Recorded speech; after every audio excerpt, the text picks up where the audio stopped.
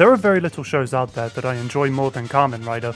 Having grown up watching shows like Power Rangers when I was a little kid, when I was introduced to Kamen Rider by my best friend, I instantly fell in love with it. But what exactly is Kamen Rider? How did it start? Why did it influence me to want to get a motorcycle? And why has it been a pop culture phenomenon in Japan for over 50 years? Let's find out.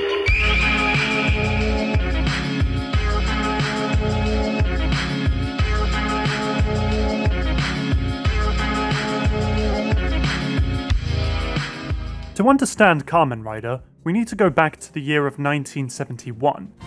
Kamen Rider was created by Shotaro Ishinomori, a manga artist and writer who you probably know as the creator for Cyborg 009. Kamen Rider was a TV show that combined superhero action with a touch of horror. In Japan, shows that are live action and make heavy use of practical effects, like in Kamen Rider for example, are called tokusatsu, literally meaning special photography. Examples of tokusatsu include Godzilla, Ultraman, and Super Sentai. Yes, this is Super Sentai. Not Power Rangers, Super Sentai. Power Rangers was the Americanized adaptation of Super Sentai, which is now more widely known than Super Sentai. Don't blame me, I live on a different type of island nation. I'm gonna smash you in there! You're fucking dead! Not too many balls, but Test time? Do I look like I need three pound get me the fuck out of here. Also with Power Rangers, people tend to gloss over the the racism? Oh my god. Punch my mama in the throat, karate kick my daddy in the chest. What the fuck? Okay, sorry, sorry, I got sidetracked there. Anyway, the original story of Kamen Rider follows Takeshi Hongo, a young motorcycle racer with a canon IQ of 600, who was kidnapped by the evil organization Shocker. They experiment on him, turning him into a cyborg, but Hongo escapes before they can brainwash him. He decides to fight back against Shocker and other evil forces as Kamen Rider, a masked hero who rides around on a motorcycle, can jump really high, and punches people. Unfortunately, during filming of the 10th episode, the actor for Takeshi Hongo would suffer an injury by falling off of his motorcycle. The staff who were filming said it would be better if they killed off the character. But Toei producer Toru Hirayama opposed it by saying, We can't destroy the children's dreams of being almighty. So the character was thus temporarily phased out and replaced with another character called Hayato Ichimonji. And it worked! The series became a massive success and saw over 90 episodes, with the actor for Takeshi Hongo actually making a return once he got better.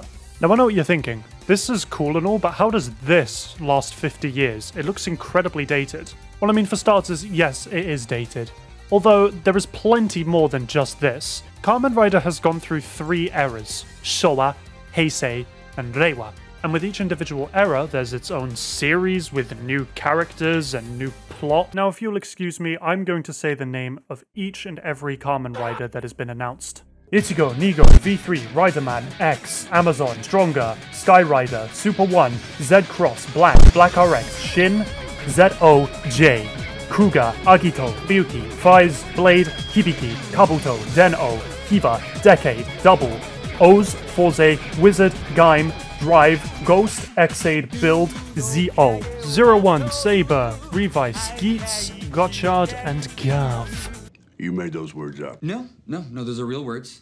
Kamen Rider isn't just a TV show, it's a cultural touchstone that has influenced Japanese pop culture in countless ways. From toys and merchandise to movies, manga, video games, and even references in other forms of media, Kamen Rider is literally everywhere. There's a song in Animal Crossing called Go KK Rider, which is themed about Kamen Rider. There's a character in Bleach themed about Kamen Rider. There's a character in One Punch Man who's themed about Kamen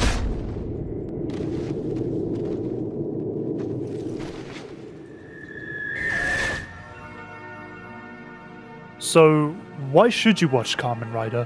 If you're a fan of superheroes, science fiction, action, or just great storytelling, then there's something for you here. There's over 30 series to choose from. There's a Kamen Rider for literally anybody. If you like dark and edgy topics, you've got Kamen Rider Black. If you're into more of a silly show, you've got OOO. Personally, my favorite rider is Wizard. That design is just. So, what's your favorite Kamen Rider? Feel free to let me know in the comments, or if you're completely new to it, please, please watch it. You you will join the brain roll. This isn't a request. Okay, that's the end of the video. Goodbye.